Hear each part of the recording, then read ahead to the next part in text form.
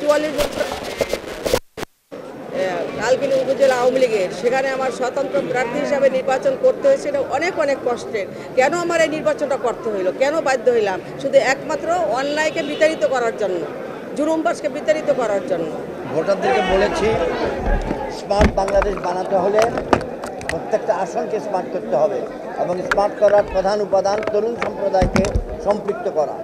আমি এটুকু করব। থ্যাংক ইউ তার স্থানীয় প্রতিনিধি নির্বাচিত করেছে এবং মানুষের প্রত্যাশা যে অবলিত ঈশ্বরগঞ্জকে উন্নয়নের ধারা নিয়ে আসে।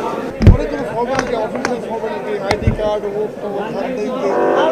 অন্য কোনো বিষয় নিয়ে আলোচনা কোনো হয়নি এবং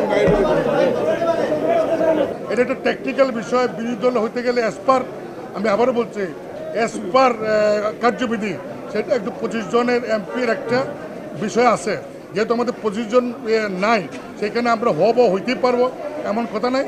তবে কথা চলছে, যদি আমাদের পার্লামেন্টারি পার্টি মিটিংয়ে স্বতন্ত্র মিলে পঁচিশ জন আমরা বসতে পারি তখন এটা সম্ভব। এছাড়াও আরও কি করা যায়, কোনো ফাঁক আছে কিনা, সেটা আমরা নিশ্চয়ই দেখব। তবে সবচেয়ে বড় কথা হইল, পার্লামেন্টে যদি জনগণের পক্ষে ভূমিকা রাখতে হয়, তাহলে বিরোধী দলের ওই যে আপনার ওই গ্রুপ গ্রুপ ওয়াইজ হওয়া লাগবে তা তো না। নিজের থেকে দায়িত্ব নিয়েই তো আমরা, আমাদের দায়িত্ব পালন করতে পারব। অ্যাজ এ বিরোধী দলের এমপি অথবা অপোজিশন এমপি হিসাবে।